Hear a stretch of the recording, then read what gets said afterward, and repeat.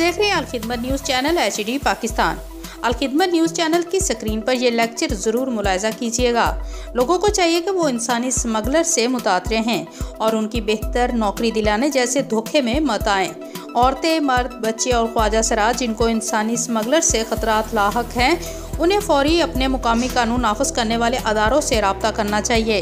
Shireen Malik, Sher supervisor, trafficking in person unit of anti women smuggling directorate of F I A Pakistan report Alkhidmat news channel H D Pakistan वालेकुम जी my name is Shireen Malik Sher and am supervising the trafficking in person unit of anti human smuggling directorate of FIA आज मैं public awareness message share करना चाहती हूँ।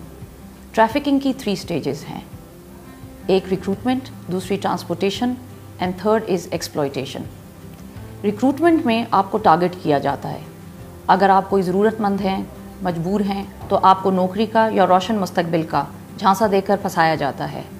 Second is transportation आपको एक शहर से दूसरे शहर ले जाया जाता है। एंड देन एक्सप्लॉयटेशन यानी जिनसी ज़्यादती का शिकार बनाया जाता है। It can either be sexual exploitation और बॉन्डेड लेबर पाकिस्तान में जो भी मर्द, औरत चाइल्ड और ट्रांसजेंडर जो भी ह्यूमन ट्रैफिकिंग का शिकार हुए हैं या हो रहे हैं, अपने करीबी पुलिस थाने में इस ह्यूमन ट्रैफिकिंग के ख़िलाफ़ एफआईआर दर्ज करवाएँ। पाकिस्तान में 2018 से prevention of human trafficking act लागू है और इसके तहत जो ट्रैफिकर है, जो कि मुजरिम है, जो लोगों को अपने जाल में फंसाता है और जो लोगों के साथ फ्रॉड करता है, उसको 10 साल कैद और 10 लाख रुपए तक जुर्माने की सज़ा है। आपकी ज़िंदगी बहुत कीमती है। आप किसी के धोखे में ना आएँ।